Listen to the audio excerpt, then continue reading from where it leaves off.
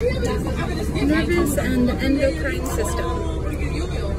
Neuron structure. A neuron is a nerve cell specializing for conducting nerve signals over long distance. It has long cell extension called dendrites, which receive electrochemical impulse from other neurons.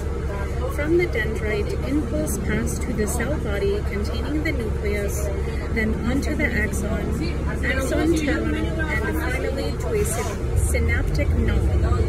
Some neurons are covered in a neurolemma, which is a membrane that helps the neuron repair itself should there be an injury. Many neurons have a white, fatty, insulating myelin sheath covering the axon.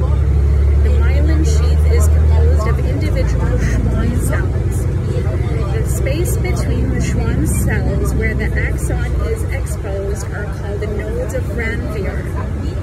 There are three kinds of neurons. Sensory neurons carry signals from the sensory organ to the central nervous system, and motor neurons carry signals from the CNS to the muscles. Signals travel within the CNS through interneurons.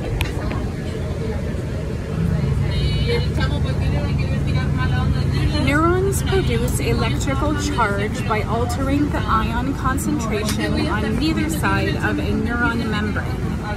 When a neuron is at rest, plus ions are found mostly outside the axon in the extracellular fluid, while K plus ions are found mostly within the axon in the intracellular fluid.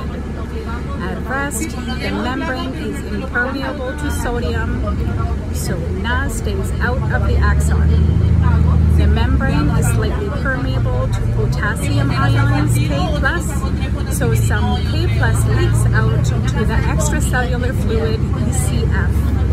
As a result, slightly more positive ions are present in the ECF than the intracellular fluid ICF, making the ICF relatively negative with respect to the ECF. The resting membrane is thus said to be polarized. The slight difference in polarity between the two sides creates a small electrical potential of 70 MV. Because voltage is always given from the perspective of the ICF, the resting membrane potential of a neuron is a negative 70 MV. This means that the inside of the neuron is 70 MV more negative than the outside.